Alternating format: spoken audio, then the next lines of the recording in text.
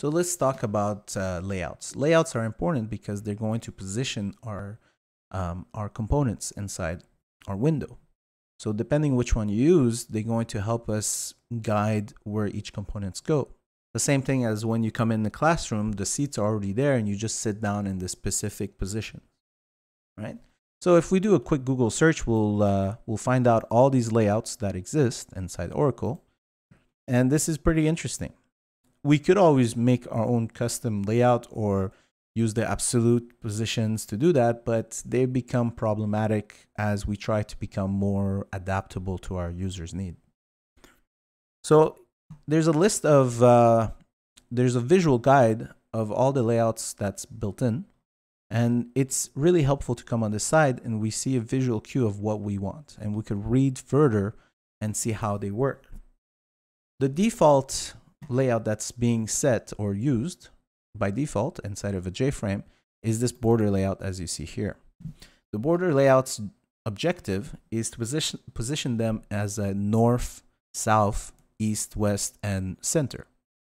And again, only one item could ever be at any one of these positions. This is why maybe at the beginning we'll have some difficulties positioning something in there. Uh, we'll try it out. The box layout uh, is another one which we could position them either horizontally or vertically and we could align them if we need to.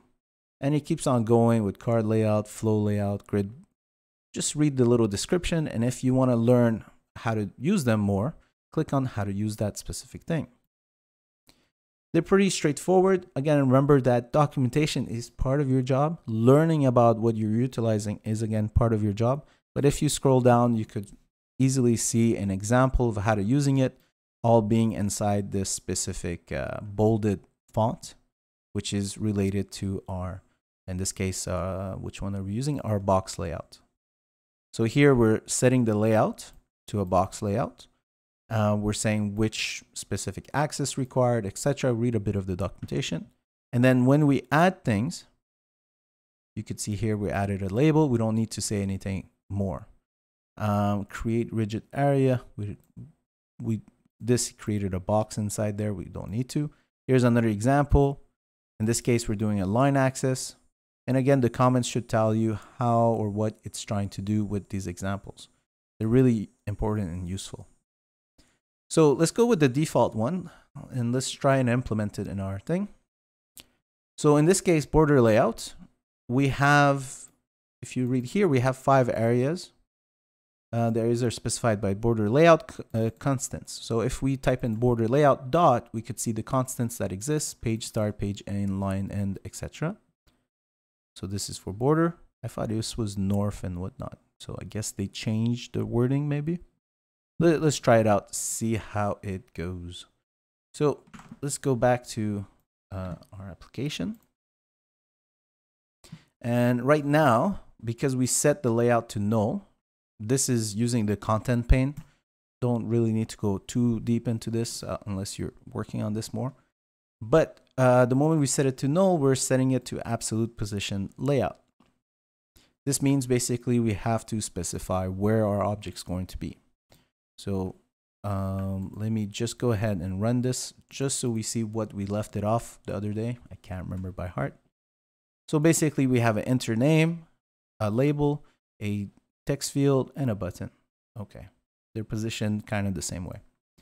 So let's go back. So if we take this off, if we comment it out, by default, it should be using, um, by default, it should be using uh, the border layout, I believe uh, which is this. So they renamed it. Normally you do north, left, uh, sorry, north, east, south, and all that stuff. I don't know why they named it to page start, line start, line end. I guess it makes a bit more sense than north, south, east, west. Anyway, so let's go ahead and what does that mean? So having that commented out, or we could definitely set it out ourselves by saying uh, which layout do I want to use? Notice that the moment I create the object, box layout, group layout, that object is going to take care of positioning things for me. So here we're setting the layout we set to a border layout. We could do control uh, Q to get a little information. If you look at the control Q here, let me position this a bit differently. inside ours, let me bring it more. Inside ours, notice that it says north, south, east, west, center. So it could be that the version of Java that we're utilizing here hasn't been updated with the documentation in, uh, inside, or that there is actually there is two different ways we could do it. So whichever positioning method, they're the same thing, just different ways of saying it. You could utilize to position things inside your layout. So let's go ahead and try that out. So we're going to create a new border layout. I'm going to do control P inside the parameters. We could give it a horizontal gap and a vertical gap. I'm guessing that's between each elements that is. So let's say this one. So the horizontal gap, the vertical gap. Uh, yeah, so there's a gap. I'm guessing the gap is between each element. So right now we're just going to leave it to default. We could come back and play with this. Let's go down. Now we got three objects and we set the positions and height and width. This time we're going to remove these and we're just going to add it. And when we add, we specify where we want those things to be. So let's say over here, the label, we could make it comma. So there's another, uh, another overload of this, which we could say where the object constraint is. So in this case, we want to use the border layouts constraints. So we're going to say border layout. It's a static method. So border layout, the class name dot, and you could see here the north, the east, the line end, etc. They're all the same thing. So in this case, I want the label to be on the north side. I'll put it there. I want the submit button to be on the south side. Can I pick up like this? No, I have to really say border layout dot south. And again, you could have used the line start, line end, etc., etc., whatever they are. And the field, I'll make it center. Now, the cool part about doing this is we don't need to manage our items. Let me just go ahead and run this. Sorry, my mouth is really dry. Now, look at this. The screen size, whatever the screen size was, we got our label in the north. It takes the whole row so if we want to center it, we'll have to let it know to center. And then we have our eh, text thing in the middle here. Takes the whole space. So if I wanted to have multiple lines, it could be, I just need to use something else than text field, maybe a text area. And then we have our submit button at the bottom. Now, why is this so good compared to a, a absolute value? Well, look at this. If I resize, it resizes with it. I could even modify the constraints for these to get a better scaling or different scaling than giving the center to the text field. Let's go back here for a second. So this arranges things for me. Um, so now let's see if we give it some gaps. We have the horizontal and the, we got the vertical. Horizontal would be this way, left to right. So that's the gap between left to right. We have nothing left to right each other. We don't have an east or west. So here we could leave it to a blank. But let's say a vertical gap, which is top to bottom, we could give it like, let's say a 10. Let's see what happens and play around with this. This is the fun part of exploring some new tools. And now if you look, the items, the components are not touching each other anymore. There's a 10 cent, well, 10 pixel gap between each other, right? If you want to make it higher, so maybe you could see a little variations. Hundred's a big number. You could see that the gap between each other is a bit too much and a bit ugly. So you could play around with this. This is a fun thing to do. Now, the problem comes down to, um, well, I want other things. I don't just want five items in my my my object. I want to have more items. Let's say on the line start, or in this case, the east. So I want to do something else. On the line, the east side, I want to add a list of buttons or something similar. So this time I want to use a box layout. So we're going to go to how to use a box layout. In this case, um, we go down. We got to set the box layout, a list pane that we're going to use, and the box layout page axis. So let's get this going. So to be able to do this, we need to add we need to, are we recording? Yeah. So, uh, wrong button. One second. There we go. So for us to be able to do this, we need to create ourselves a panel and we need to specify what layout to utilize. So let's go ahead and do this. Why do we need to create a panel? Because this is not our JFrame. We don't want the full screen to be a list. We just want on the left side of this to be a list. So before we start making the, uh, the panel, let's try a button by itself, see how it looks. So let me scroll this down. So inside our create components, we're going to create, I'm just going to put it here so it's a bit off of everything else. We're going to create another J button. And this is our left side button. Okay, we don't really know what we're going to do with it. And we're just going to give some text A. And I want to add this. So we're going to add this to our to our main thing and we're going to add it to our border layout and we're going to talk about east. Right? Uh, actually west. We want it to be on the left side. So if I did it correctly let me run it again. If I done it correctly we should see it on the left side. Yeah. Now if I add another button this is where the problem comes. Let's say I copy this.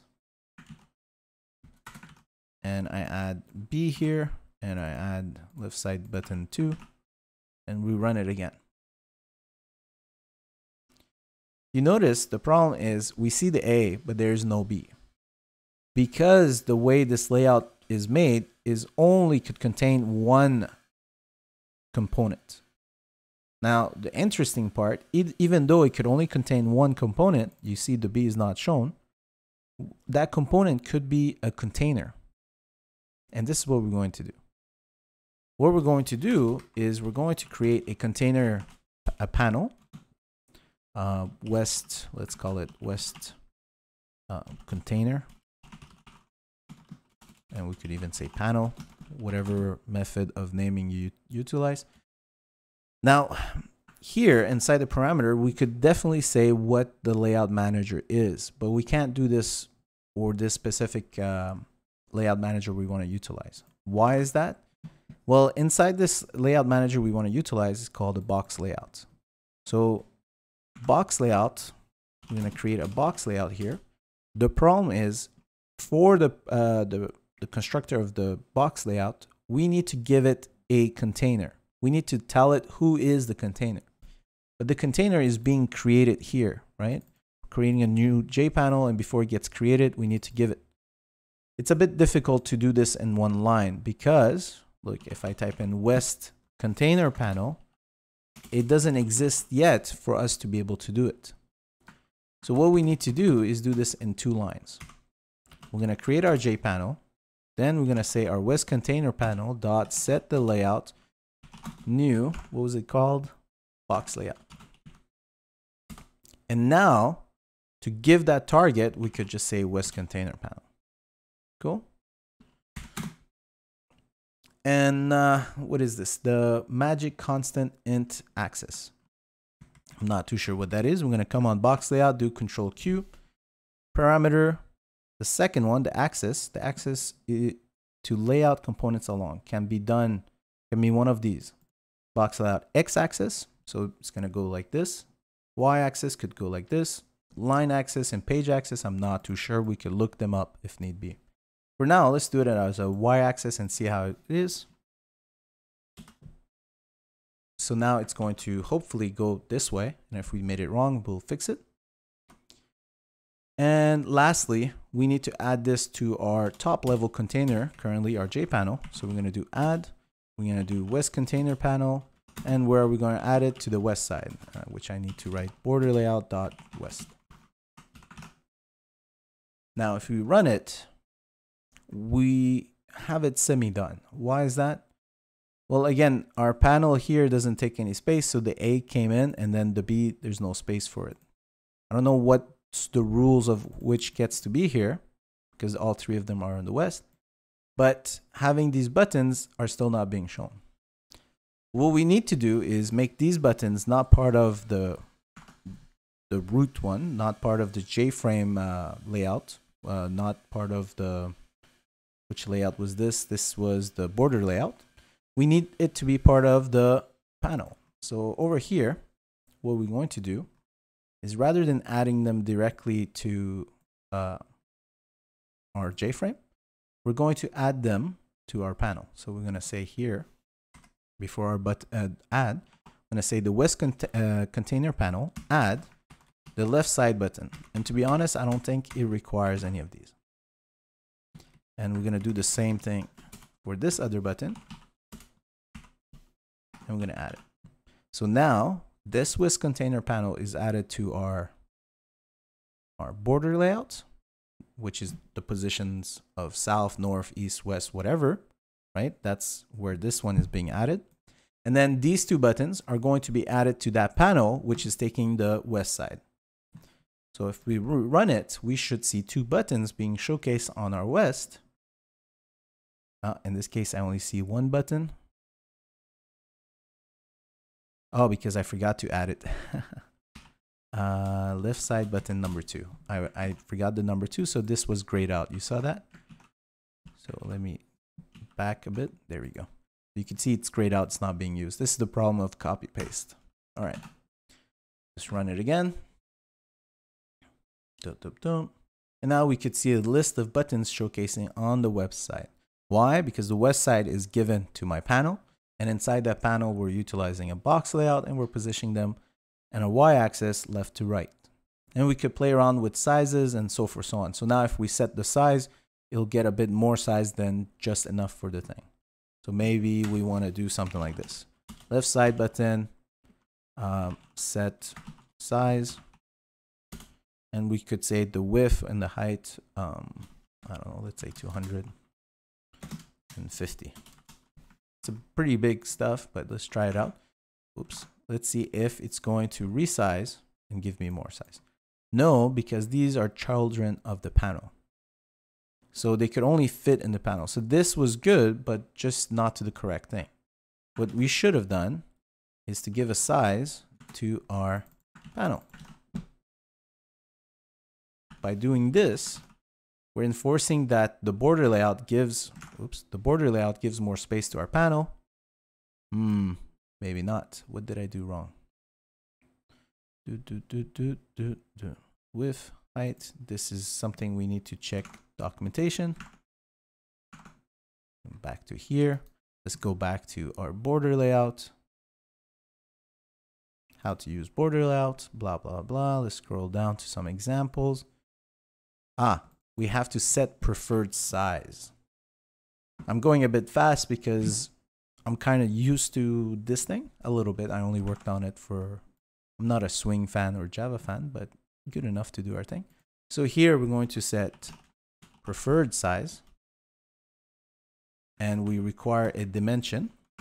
How did they do it over there? Just to see. Yeah. Okay, so new dimension. And here we're going to give the width. So 200 and the height 50. I don't really want to give a height, but whatever. Cool, look at that. So now we got our space that we want. Right? Now, uh, even though it got the preferential treatment, how do we make the buttons expand towards it? So again, we have to go look inside our documentation. Let's go back now. Now we're talking more about a box layout that we utilize. We go inside there and we could check some code. Dum dum dum, set layout. These are adding. Um, mm -hmm. Do, do, do.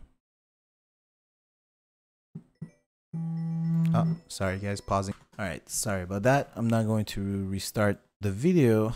It's 20 minutes in, so uh, let's get back to what we were doing. In this case, we were we wanted to see we wanted to make these buttons take more space than um, well, I wanted to take the full space rather than taking a small amount of space to fill in the gap. So normally what's going on is taking enough space to show the content of those buttons, as you could see here. So what we want to do is make these buttons maybe expand and maybe uh, if you want to make spacing, etc., you got to look into what's going on. So uh, in this case, we're utilizing the box layout. We could read some documentation and so forth, so on. For now, uh, let me close this one and let's go back onto how to use our box layout. So box layout features, Let's just do a size. Uh, da, da, da, da. It takes the components alignments and minimum, preferred, and maximum size into account. Da, da, da, da, da. Let's just skip a lot so you guys don't have to read. Um, so again, remember that your job is going to be a lot to do with documentation, reading and understanding what's going on. This is going to be your life. Again, remember that if if you uh, if you uh, rely too much on Google, you're going to be stuck. Why? Well, because at some point, we're going to do something that hasn't been done yet. So if you're always expecting your answer to be online, you're going to be stuck many times. You need to get used to looking at documentation, making sense out of it, and so forth, so on. So again, trying to go fast here, we could see this layout kind of taking the full size. Maybe this is what we want. Uh, what if none of the components has a maximum width? In this case, if all the components have identical X alignment, then all the components are made as wide as their container. Cool, this looks like what we want. Uh, then any components with X alignment, right alignment, will be smaller. All components with intermediate X alignment, blah, blah, blah, Well, this demo is kind of what we want. Now I just want to read a bit more. I'm going to pause the video so I don't waste your time. All right, so with a little bit of research, I found out that uh, if you utilize the set maximum size, we could set it up to the size we want. And in this case, you look at line 38. In this case, what I've done is I set the maximum size of that button, the one with the ASD whatever, to the preferred size that I set the panel for, which is over here 250. I do it like that so that uh, this will directly be the same size as whatever the panel is. If I ever change it, those will change to match. So all we need to do is also do it for button 2, which we're going to do. Again, remember with copy paste, some issues could happen. So this took me like a 5-10 minutes to read around because I was trying some other fancy ways. And, you know, we, we got it. So now uh, overall we got a container which has a north, west, center. There's no east, not yet, and a south. And on the west side we have a panel which contains a box layout for whatever we want to do. In this case we added buttons and we set their maximum size, right? Uh, for all the other layouts designs that exist, I'll let you look into it yourself. If you do have any question, uh, ask me. For the website that we were looking at, this one, uh, like the previous video with the components, I'm going to add the link inside the comments, uh, not inside the comments, well, inside the comments or inside the description of this video. If you have any questions, let me know. Cheers.